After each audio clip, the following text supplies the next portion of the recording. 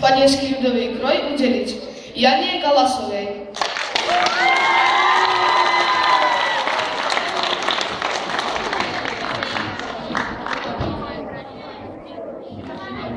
Tretiu cenu si získal Saša Rohárik.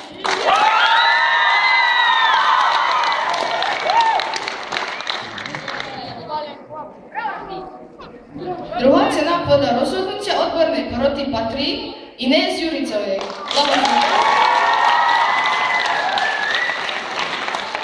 Najväčší počet hlasov obecenstva, teda vás, vážené publikum, si získala speváčka s poradovým číslom 8, čiže Dana Marušníková. Blahoželáme a pieseň Už sa tá lavička si vypočujeme ešte raz. Nech sa páči.